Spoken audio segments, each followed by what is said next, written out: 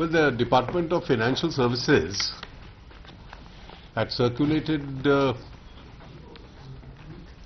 two different proposals to the cabinet today, both with regard to the establishment of a credit guarantee fund. Now, the first credit guarantee fund is being established for the MUDRA loans.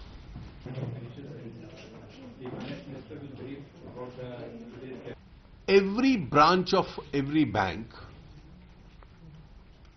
will fund at least two persons, one in the SC/ST category and another woman entrepreneurs. Correct. And the total amount to be sanctioned to them for setting up greenfield projects will range from 10 lakhs to rupees 1 crore.